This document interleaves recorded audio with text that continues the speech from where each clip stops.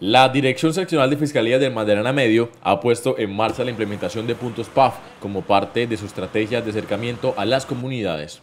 En consonancia con la dirección del fiscal general de la Nación, Francisco Barbosa Delgado, esta medida busca ampliar los canales de contacto en áreas donde previamente no existía presencia física del ente acusador.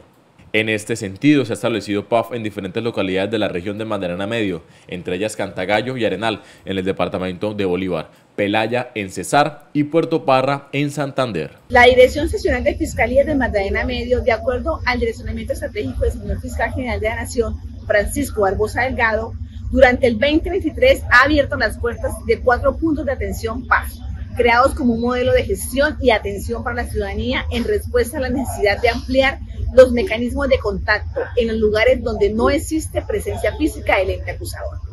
Se trata de las poblaciones de Cantagallo, Arenal Bolívar, Pelaya Cesar y Puerto Parra Santander, municipios de Magdalena Medio en donde la entidad realizó convenios interinstitucionales con sus alcaldías para hacer realidad este proyecto en beneficio de las comunidades apartadas que tenían que desplazarse a municipios lejanos para poder acceder a los servicios de la justicia. Además, se tiene prevista la apertura de un nuevo punto en San Martín Cesar. Estos puntos de atención operarán en colaboración con las alcaldías respectivas, aprovechando sus instalaciones para brindar este servicio a la comunidad. Los PAF ofrecen la posibilidad de recibir denuncias relacionadas con delitos querellables, así como atender peticiones o quejas de los ciudadanos. Los PAF tienen sus puertas abiertas en las instalaciones de las alcaldías de sus municipios, donde un funcionario capacitado podrá atender de ahora en adelante a los ciudadanos que requieran interponer denuncias relacionadas con delitos querellables o PQRs.